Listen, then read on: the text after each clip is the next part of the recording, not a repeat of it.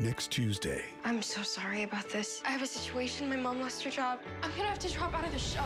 As they fight to hold on, We will not be defeated. a friendship will face a moment of truth. I don't know what you want. Do you feel something when you're with me? And the star player Coach benched me. He won't let me play unless I quit the show. will face the ultimate decision. What would you do? Rise, new, next Tuesday on NBC.